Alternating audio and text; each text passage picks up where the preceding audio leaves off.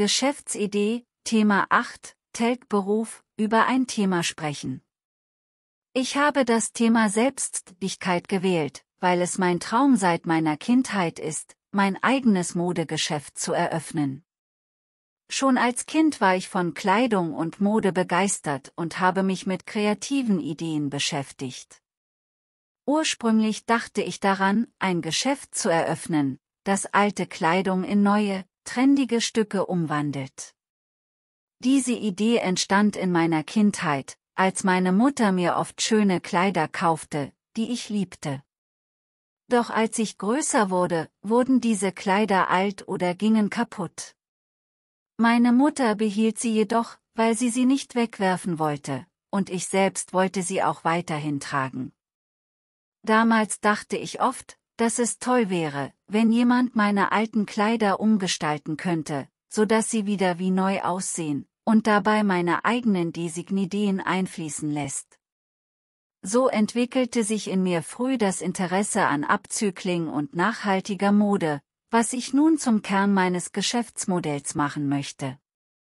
Mein Geschäft würde sich auf die Umarbeitung und das Abzügling von älteren Kleidungsstücken spezialisieren.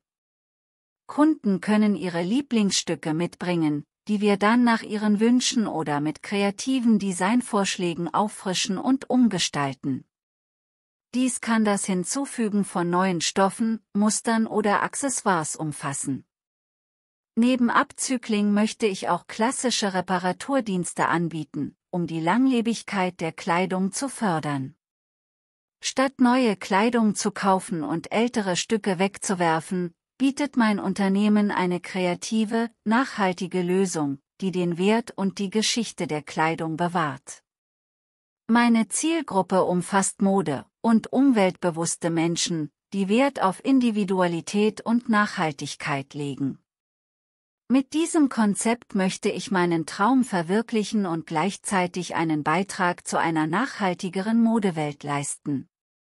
Die Verbindung von Kreativität und Nachhaltigkeit ist das Fundament meines Geschäfts und ein Herzensthema, das mich schon mein ganzes Leben begleitet. Damit komme ich zum Ende meiner Präsentation und bedanke mich bei Ihnen ganz herzlich für Ihre Aufmerksamkeit. Ich hoffe, dass ich Ihnen ein paar spannende Einblicke geben konnte.